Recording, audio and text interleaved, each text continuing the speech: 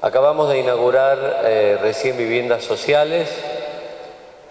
que es algo que siempre llego y pregunto cuando vengo a cada localidad o cuando me reúno con algún intendente o algún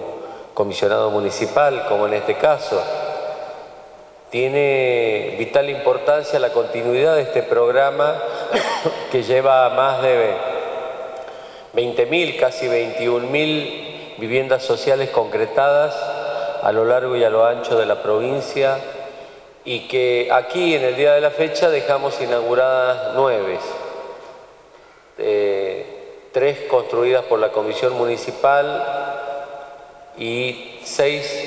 de tres organizaciones no gubernamentales a las cuales también agradezco la colaboración con el programa. Y desde aquí seguimos convocando a todas las autoridades comunales,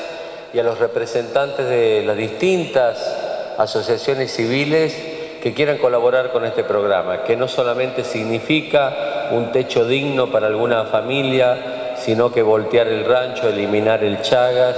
y mientras se construyen las viviendas se motoriza la economía del lugar y trabaja gente. Así que esa es la primera actividad que realicé y estoy muy agradecido por el porque el programa continúe. Y lo que nos convoca hoy, como todos los lunes, desde que iniciamos el ciclo lectivo 2021, bajo la modalidad de presencialidad cuidada, hemos dispuesto que con el plan de obras públicas que teníamos en funcionamiento, íbamos a estar todos los lunes en algún lugar de la provincia inaugurando alguna escuela, algún nuevo edificio, la reparación del mismo, en definitiva, algo que tenga que ver con la infraestructura educativa, parte de una inversión que nosotros consideramos esencial. Así que aquí estamos, en este lugar que nos convoca a todos, que nos reúne, que nos hace todos iguales,